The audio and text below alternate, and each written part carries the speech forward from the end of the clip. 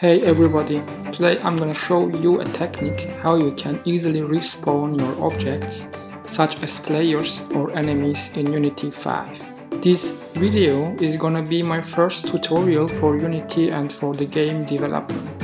As scripting language we are gonna use C Sharp, so let's start. I am currently developing a flight simulation game, so I'm gonna explain you the tutorial on this environment. Let me show you first the current status of the game. The game currently contains a procedural landmass generator. I wrote this landmass generator pure in C Sharp and Unity. You can easily set up and change regions such as water deep, water shallow, sand, grass, rocks, etc. In addition, it contains a procedural city generator, which will generate a city when you approach the airport. Both of the generators will be at the end endless generators. I have implemented an aircraft as well, which you can control using arrow keys. Let me show you the aircraft first. So let's fly around.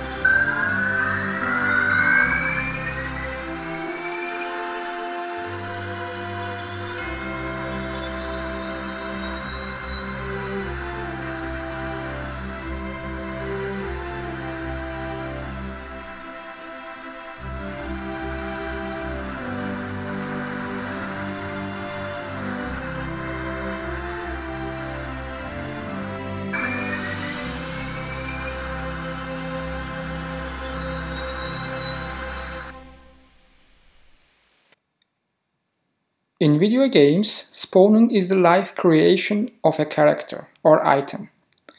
Respawning is the recreation of an object after its death or destruction. In our case, is our spawn object the airplane. I created an empty game object and named it to spawner. You can create an empty object when you right click and select this one, create empty. Then I created two other empty objects inside of it. You can easily drag and drop an object into another object like this. Now you can place your empty object wherever you want to spawn or respawn your object. So we will use our empty object's positions to respawn our object. Now select the spawner and add a new C-sharp script to it. I called it spawn control.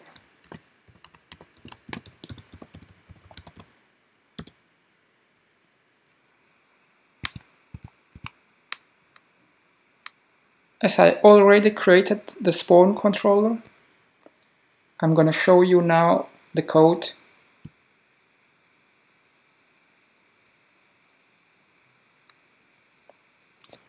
So, what we need is actually two arrays.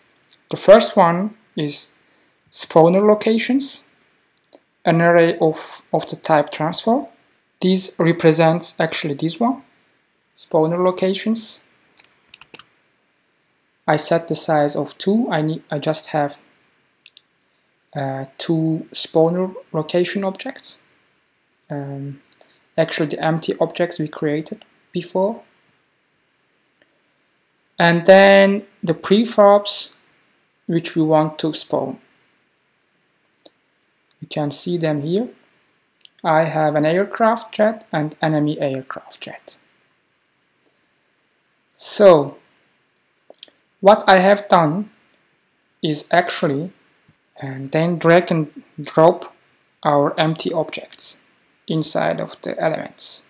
This is the first one and this is my enemy spawner location. After that, those are the locations. And now we need the prefabs we want to spawn. The first one on this location, on the airplane spawner location, I want to create my aircraft jet. So I dragged and dropped my aircraft into the element and my enemy aircraft airplane to the element 1. So that means I want to create my aircraft jet on airplane spawner location and my enemy aircraft jet on enemy spawner location. So now take a look into the code. Actually, we, we need one, two, three, four, four methods, four functions. The first one is the start function, which will be called when the game starts. The other one is the spawn function. We need a this uh, we need another function to destroy all cloned game objects. And finally the latest one, the respawn function. So let me explain now all of them. The first one I want to explain you is the spawn function. This function actually does all the stuff. So what we are doing here is we need a for loop where we will iterate our prefabs we want to spawn and then we will call the instantiate function. We will get the pre-spawn from its position and we will create it on the spawner location's position and the whole as a game object. Actually it's that simple and it will iterate through all elements which we defined here. For instance, when the game ends, the player wants to play again. Then we need two other functions. The first one is the respawn and the other one is the destroy cloned game objects. So the respawn function is actually a convenience method which calls two other methods. First, the destroyed clone game objects. This function is actually really simple. We also have three lines of code. We need a for loop where we will iterate through our prefabs, which we cloned. We will call the destroy function and then um, destroy the game object inside of this array. When you don't do this, then you will respawn new objects, but you will still have already spawned objects inside your game and in a real game you don't want this. After we destroyed all cloned game objects we actually will call the spawn function again. It's that simple. So let me now show you what you can do with this spawner Actually, when we start the game, our plane is placed on the runway. And when you actually change the position of the airplane, you can just select the airplane spawner location, empty object, and then just change its position to another place.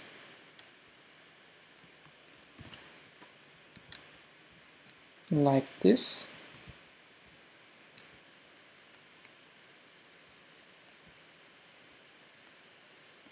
And I now start the game, my airplane will be placed on this location automatically.